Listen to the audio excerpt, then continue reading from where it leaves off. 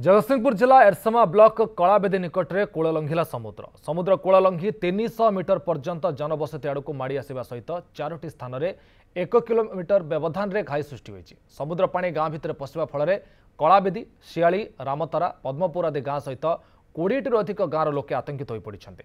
ଆଗକୁ ପୁଣି ଲଘୁଚାପ ସମ୍ଭାବନା ଥିବାରୁ ଲୋକଙ୍କ ଭିତରେ ଛନକା ପଶିଛି। ଗତକାଲି ରାତିଠାରୁ କଳାବେଦୀ ଓ ଶିଆଳି ଗାଁରେ ଲୋକମାନେ ସମୁଦ୍ର କୂଳରେ ରାତି ଅନିଦ୍ରା ହୋଇ ଜଗି ରହିଛନ୍ତି। ସମୁଦ୍ର ଜୁଆର ମାଡ଼ି ଆସିବା ଫଳରେ ପ୍ରାୟ ପାଞ୍ଚ ହଜାର ହେକ୍ଟର ଚାଷ ଜମିରେ ଲୁଣା ପାଣି ମାଡ଼ିଯାଇଛି ଖବର ପାଇବା ପରେ ସ୍ଥାନୀୟ ବିଡିଓ ଘଟଣାସ୍ଥଳରେ ପହଞ୍ଚି ସ୍ଥିତି ଅନୁଧ୍ୟାନ କରିବା ସହିତ ଜିଲ୍ଲାପାଳ ଜଳସମ୍ପଦ ମନ୍ତ୍ରୀଙ୍କୁ ଅବଗତ କରାଇଛନ୍ତି।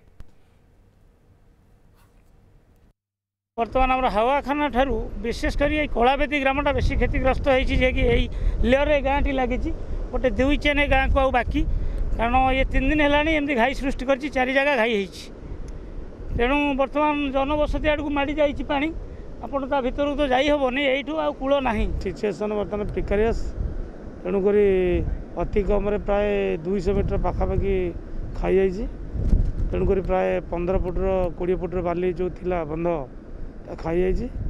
ତେଣୁ ଏଇଟାକୁ ଡିଷ୍ଟ୍ରିକ୍ଟ ଅଥରିଟି ବା ଆମ ଜିଲ୍ଲାପାଳଙ୍କୁ ଦେବାକୁ ପଡ଼ିବ। କଳାବେଦୀ ନିକଟରେ କୂଳ ଲଙ୍ଘୁଛି ସମୁଦ୍ର।